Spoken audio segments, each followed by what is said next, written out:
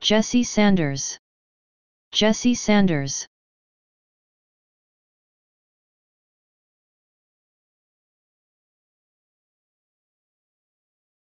Please subscribe and thanks for watching.